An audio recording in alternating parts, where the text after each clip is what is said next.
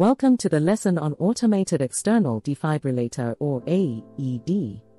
In this video, we will discuss the AED steps for children and infants. An AED is both sophisticated and easy to use, providing life-saving power in a user-friendly device. This makes the device useful for people who have no experience operating an AED and allows successful use in stressful scenarios.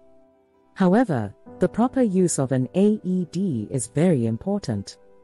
The purpose of defibrillation is to reset the electrical systems of the heart, allowing a normal rhythm a chance to return.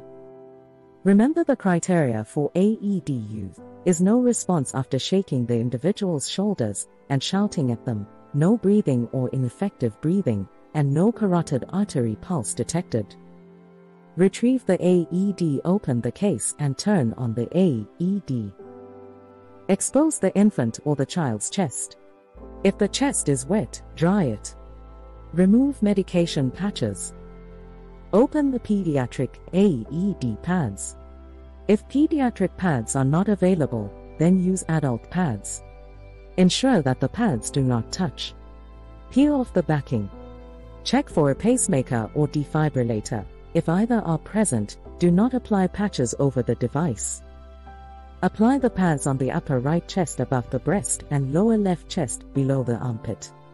If pads will touch on the chest of an infant, apply one pad on the anterior chest and another pad on the posterior of the infant instead. Ensure that the wires are attached to the AED box. Move away from the individual.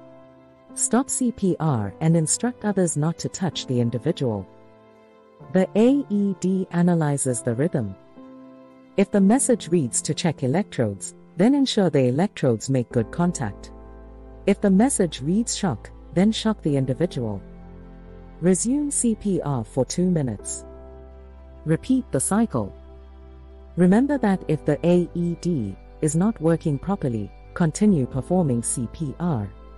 Do not waste excessive time troubleshooting the AED CPR always comes first, and AEDs are supplemental.